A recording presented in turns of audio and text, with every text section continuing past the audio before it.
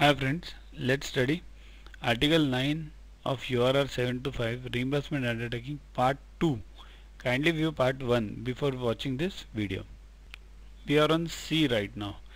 If the reimbursing bank is requested to accept and pay a time draft, the irrevocable reimbursement authorization means IRA must also indicate the following in addition to the information contained in B above. B means in my earlier video. Means means those terms are needed which are stated in B. In addition to that, these following terms are needed. These terms are similar to that of the RA. Uh, Article 6 I think so. Yeah. Tenor of the draft to be drawn. Drawer. Party responsible for acceptance and discount charges if any. Now why this drawer is required?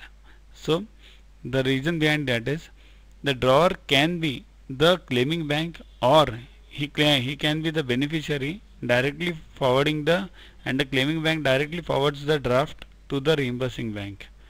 Means Benny draws a draft on the reimbursing bank and claiming bank just forwards it. That is one case. Second case is claiming bank itself draws a draft on the uh, reimbursing bank. That is case number two. Or there can be a separate bank on whose behalf this claiming bank might be claiming so the drawer can be that separate bank, not this bank. So any of these cases are possible. That's why the name of the drawer is to be written compulsorily if the reimbursing bank is to uh, accept a time draft. Before going ahead, let me tell you what are we dealing it dealing in. We are dealing in right now IRA. When IRA is issued by the issuing bank to the reimbursing bank to further give the IRU to the claiming bank and we are right now looking at the terms and conditions of IRA. Remember this. An issuing bank should not require a sight draft to be drawn on the reimbursing bank. This is also explained in the RA article of mine in that video. You can watch that video. So D. Okay, I'll tell you. If the reimbursing bank gets a claim to pay immediately from the claiming bank. So the reimbursing bank might not know certain things and it might require certain time. So issuing bank is not should not give uh, should not require sight draft to be drawn on the reimbursing bank. That is the reason why in this sight draft is registered. Then part D.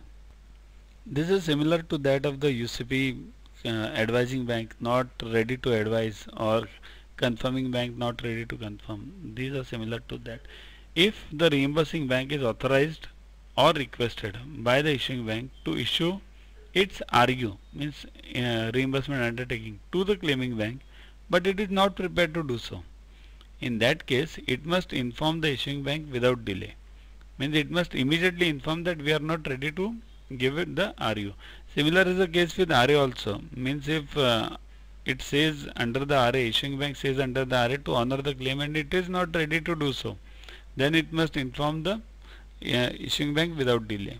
So that was it regarding part 2 of the video of article 9 URR 7 to 5 You can download this Yuvaguru app from Play Store to get these videos, question banks with explanations directly on your mobile.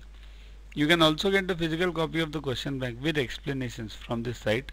It also contains this uh, this question bank also contains in basket and simulation exercises. You can also get the DVDs of all these videos uh, directly from this site. So you can follow us on these three links. So keep watching keep studying